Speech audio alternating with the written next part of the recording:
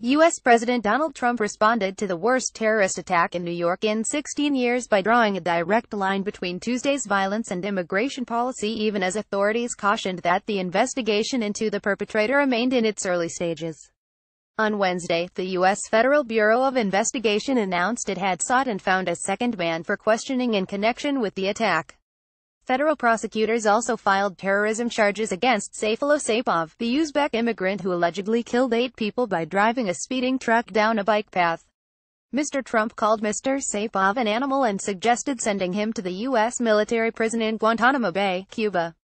He urged lawmakers to eliminate the special visa program the suspect used to enter the country and to revamp immigration policy to prevent legal residents from sponsoring family members.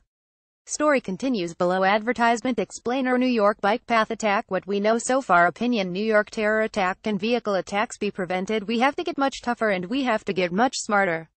And we have to get much less politically correct, said the president, who had earlier pointed a finger at New York Senator Charles Schumer for his role in helping to start the 22-year-old visa program used by Mr. Saipov.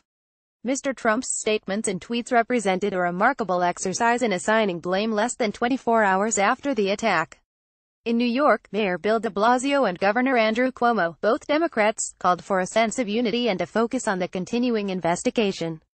Mr. Cuomo in particular hit back at Mr. Trump. You play into the hands of terrorists to the extent you disrupt and divide and frighten people in this society, he said at a news conference in New York. The tone now should be the exact opposite by all officials on all levels. This is about unification, this is about solidarity. A stretch of Manhattan's West Side Highway remained closed into Wednesday afternoon as investigators continued to comb the area for evidence. Police officials said Mr. Saipov had planned the attack for weeks and rented a truck from a Home Depot in Passaic, NJ at 2.05 p.m. on Tuesday. Just less than an hour later, the truck turned into a bicycle lane in Tribeca and barreled southward, striking bicyclists and pedestrians before colliding with a school bus at an intersection. Those killed included a group of five childhood friends from Argentina, a Belgian mother of two small children, a young software engineer living in New York and a project manager from New Jersey. Story continues below advertisement inside the truck. Detectives found knives and a cell phone full of Islamic State-related propaganda. There was also a note in Arabic claiming that the Islamic State would endure forever, said John Miller, a counterterrorism official with the New York Police Department. Mr. Saipov was not a prior target of a local or federal terrorism investigation, Mr. Miller said, but he appears to have ties to an individual who was under scrutiny by authorities. Mr. Saipov, who was shot in the abdomen, is being treated at New York's Bellevue Hospital and is talking to investigators. With Tuesday's attack, New York became the latest city to grapple with the threat of individuals inspired by the Islamic State using vehicles as weapons, a technique already deployed in Nice, London, Berlin and Edmonton. Such perpetrators can be deadly even if they're not particularly competent, said Mitchell Silber, a former senior intelligence official with the NYPD.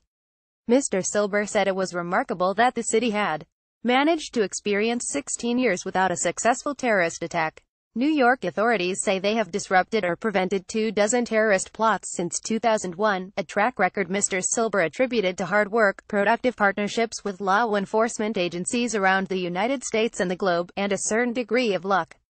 Early indications suggest that Mr. Saipov became radicalized after arriving in the United States from Uzbekistan in 2010. He entered the country through something known as the Diversity Visa Lottery Program, an initiative that awards 50,000 permanent resident visas a year to people from countries that are underrepresented in immigration to the U.S. Mr. Trump has long maintained that immigration policies are linked to crime and terrorism.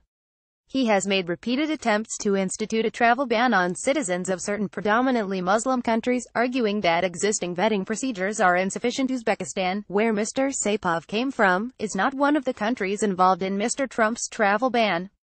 Courts have blocked the measure, while Democrats and a number of Republicans have condemned it as discriminatory and counterproductive.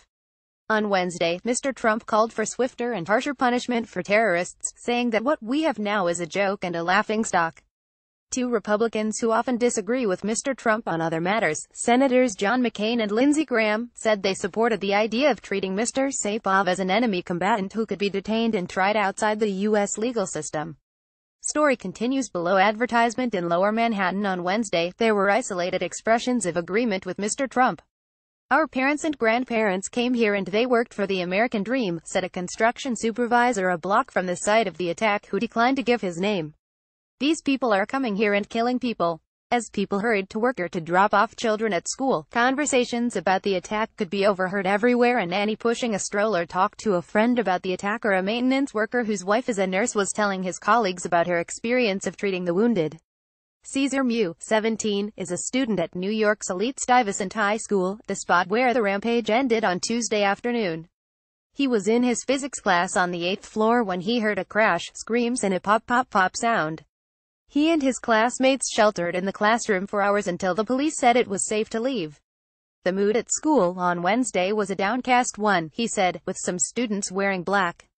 It's surprising that this happened so close to our school, said Mr. Mew. It's hard to believe. Just across the West Side Highway, Brianna Dunn, 22, was among a stream of students entering the borough of Manhattan Community College on Wednesday morning. She said she alternated between feeling fine and feeling frightened. It can happen again, even with the cops around, she said. This crazy stuff needs to stop.